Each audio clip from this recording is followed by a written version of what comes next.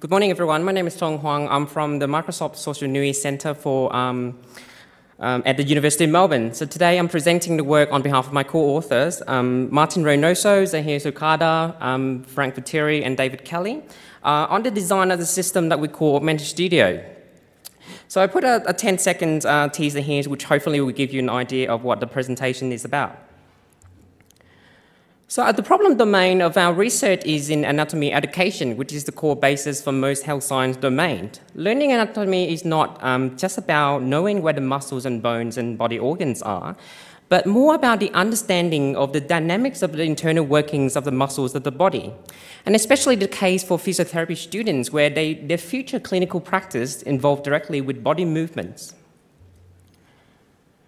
students do understand in two dimensions how muscle and joint work, but three-dimensional analysis is challenging for them. So in other words, physiotherapy students often struggle to translate the anatomical knowledge from textbook to dynamic understanding of the mechanics of body movements in real-life patients.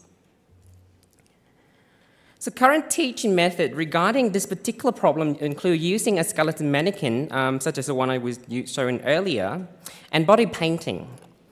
Body painting, however, is a very time-consuming process. Um, the photos shown here in the slide and the one previous took about 17 hours to complete by a large team of artists and health science students. In addition, body painting does not allow for easy modification and annotation, which is a very common practice in physiotherapy teaching. So the reality is, uh, teachers often resorts to using skeleton mannequin, um, which is an inanimate object, to illustrate dynamic movement concepts. So our understanding of the problem domain um, is derived from the field study that we conducted at the Department of Physiotherapy in our university to answer the question of how we can use emerging technologies to enhance physiotherapy teaching and learning. So we observed six practical classes, as shown in these photos here, over the first semester of the first year of physiotherapy uh, doctor, doctoral program. Our method is observation and informal chat. So based on our study, we derived two design guidelines for emerging technologies to help with physiotherapy education, namely augmentation and annotation. Augmentation is the capability of technologies such as augmented reality or virtual reality to provide dynamic anatomical references to the students, which they constantly refer to in the class as we observe. And annotation, which is a digital form of a body painting because we do observe that simple body painting like this is very commonly used in class. So a literacy survey found similar research work, um, AnatOnMe by Ni and College is designed to improve doctor and patient communications uh, in a clinical settings. Using a handheld projector, the, the doctor can position virtual anatom anatomical information on the corresponding part of the patient's body to educate the patients on the concept relevant to their consultation.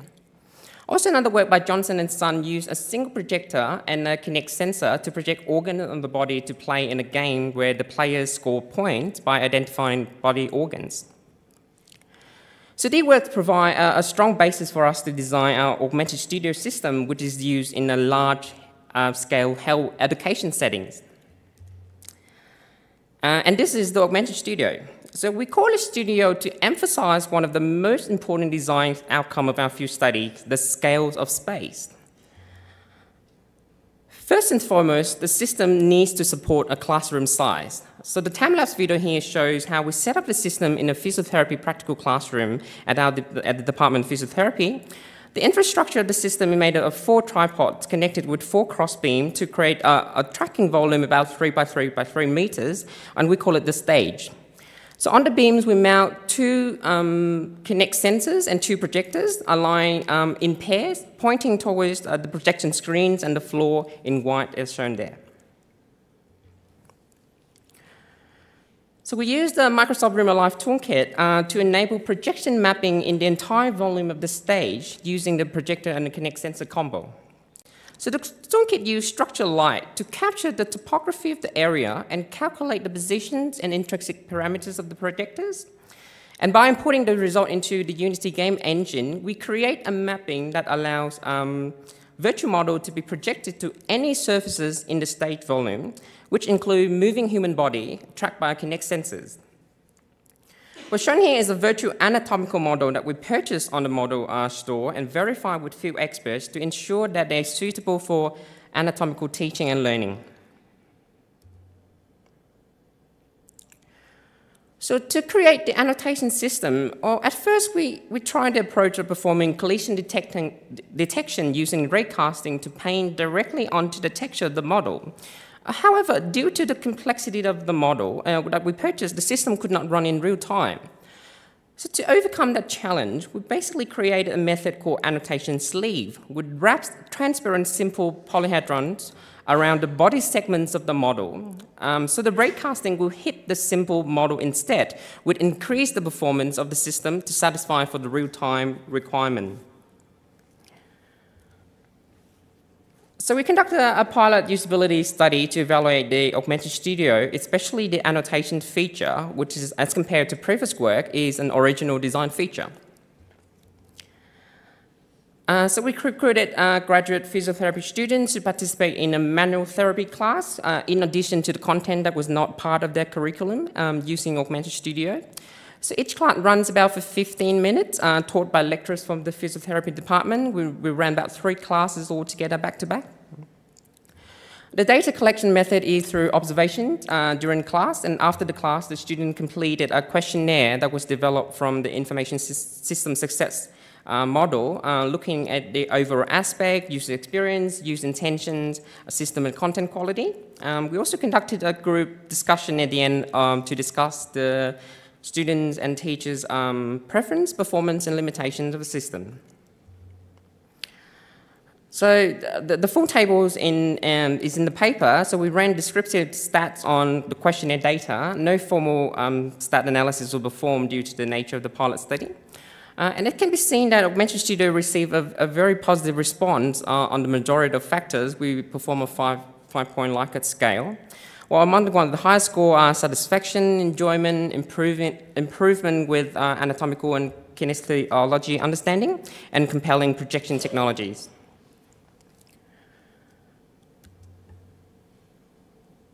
So we ran code analysis on the observation node and group discussion transcript, and we found the following themes.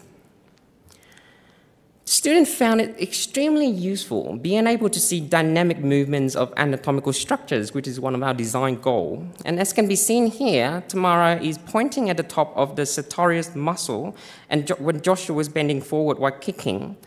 Um, and the student commented that they, they prefer Augmented Studio because it provides more relevant information with the ability to map 3D models to physical movements.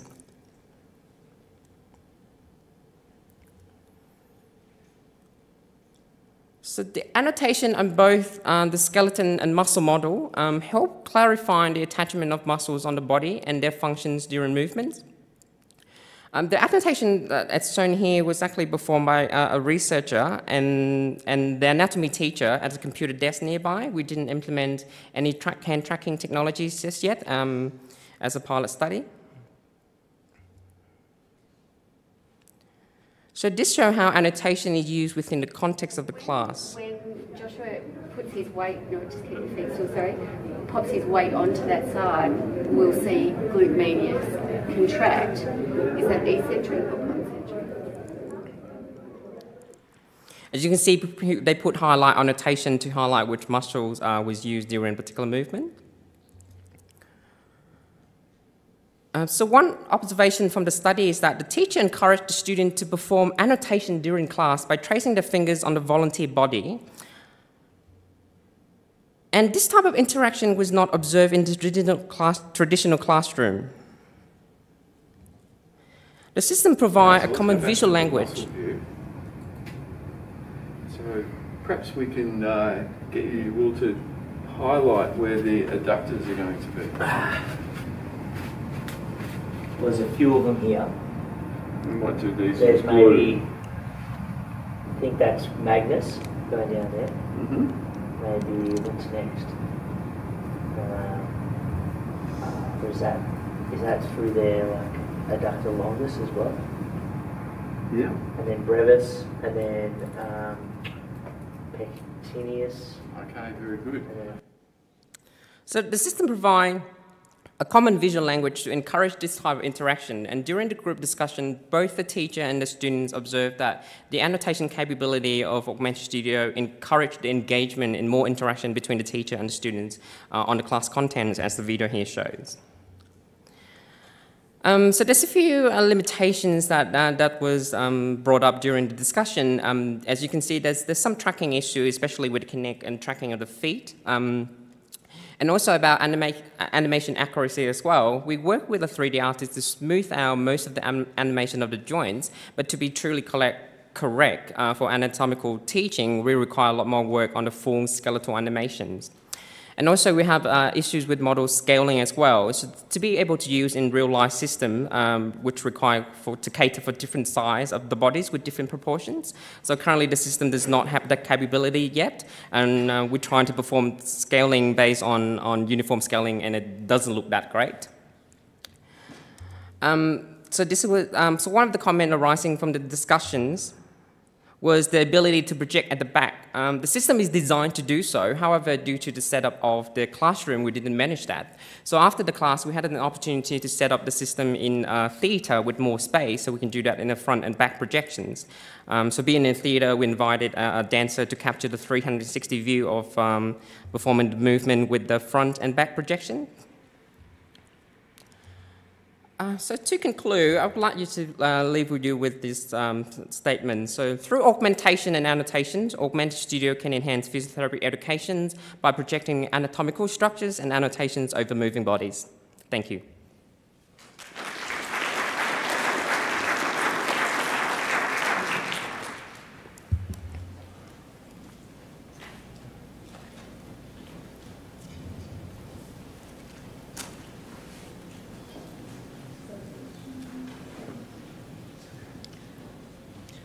Hi, Thuong. Um, I have a question. So, how was the experience of the human um, model used here? um, how did you feel people? Yeah, uh, this is a common practice in, in class that we observe that the student, uh, the teacher normally uh, get asked the student to volunteer to be the patients.